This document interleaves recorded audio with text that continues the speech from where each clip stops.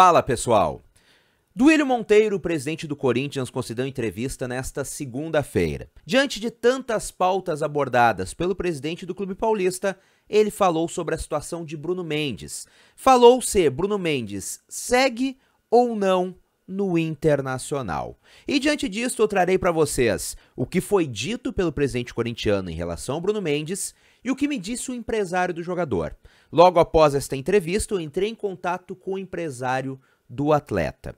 E o Inter, nesta terça-feira, basicamente define a sua vida na Copa Sul-Americana. Se perde, basicamente dá adeus à competição continental. E para este importante jogo, o Inter tem importantes desfalques.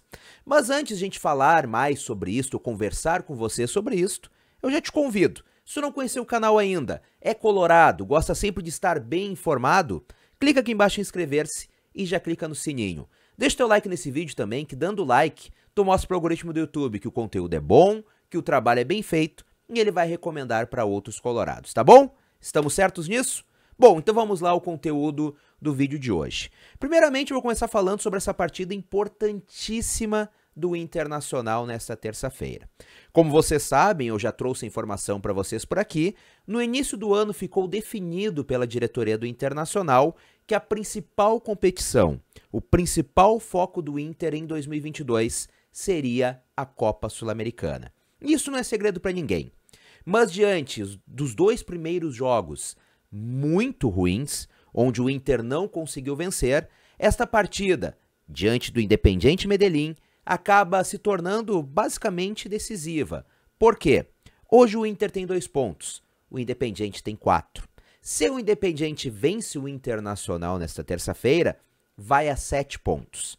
Ou seja, abre cinco pontos de diferença de nove ainda em disputa. Obviamente, matematicamente, ainda dá para o Internacional, caso perca, conquistar a vaga, mas se torna muito difícil. Lembrando, na Copa Sul-Americana, somente um time por grupo se classifica. Na Libertadores são dois. Na Sul-Americana é somente um. Então essa partida acaba tendo um ar decisivo para o Internacional e para as ambições do Inter no ano. Afinal, já não temos mais a Copa do Brasil. E para esta importante partida, Mano Menezes conta com dois importantes desfalques. O primeiro deles é Tyson, que ainda não retornou de lesão e não viajou com o restante da equipe. E o segundo, Rodrigo Moledo, que voltou de lesão, voltou muito bem. Havia uma dúvida de como o Moledo voltaria, afinal, antes das lesões, quando o Moledo voltava em pré-temporada, ele voltava mais pesado. Não digo que gordo acima do peso. Voltava mais pesado, voltava mais lento, demorava um pouco mais para pegar, pegar ritmo.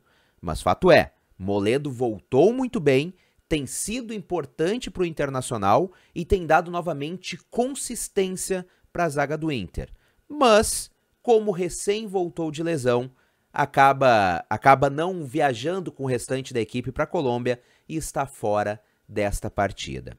Então são dois importantes desfalques, duas importantes perdas técnicas para a equipe de Mano Menezes para essa partida decisiva na Copa Sul-Americana.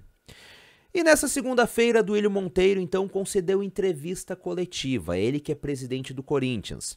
E ele falou sobre a situação de Bruno Mendes. Ele disse que Bruno Mendes é um jogador jovem, um jogador muito bom e que o Corinthians espera contar com o atleta após o término do empréstimo ao Internacional.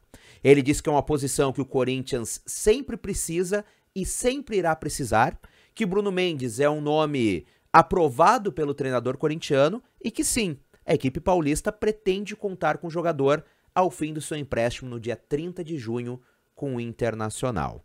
Ele lembrou, porém, que o Inter tem preferência de compra.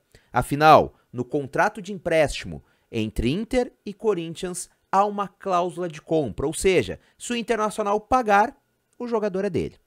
O valor 6 milhões de dólares, aproximadamente 29 milhões de reais na cotação atual desta segunda-feira. É um valor muito alto, é um valor que extrapola um pouco o que o Internacional vem gastando e pretende gastar, mas fato é, Bruno Mendes é muito bom jogador. Duílio Monteiro também comentou o seguinte, ele disse que o Inter não fez proposta nenhuma ao Corinthians até o momento, que houve somente até agora uma sondagem. E só. Segundo ele, não há absolutamente nada concreto por parte do Inter para comprar Bruno Mendes. Diante disto, entrei em contato com o empresário do jogador, o Pablo Bocelli. Questionei se o Inter já havia feito alguma proposta ou se o Inter ao menos já havia demonstrado interesse na compra de Bruno Mendes. E ele, que sempre foi muito atencioso, não só comigo, mas com outros colegas de imprensa, me pareceu um tanto quanto irritado com a situação. Ele me disse o seguinte: eu vou colocar aqui para vocês verem a mensagem.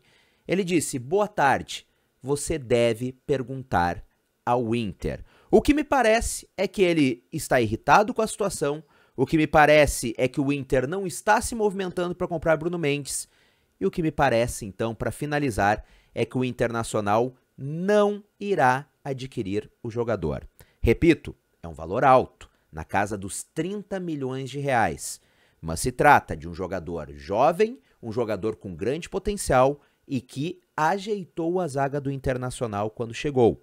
Obviamente, fica a critério da diretoria decidir se pode e deve comprar ou não.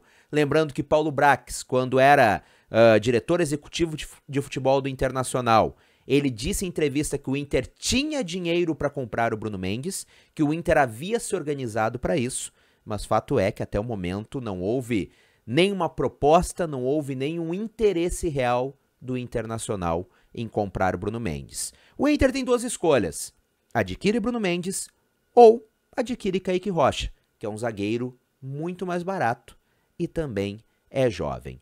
Mas me fala tu, torcedor colorado, tu acha que vale a pena o Internacional comprar Bruno Mendes? Ou tu acha que o Inter deve investir em outros jogadores? É uma quantia alta.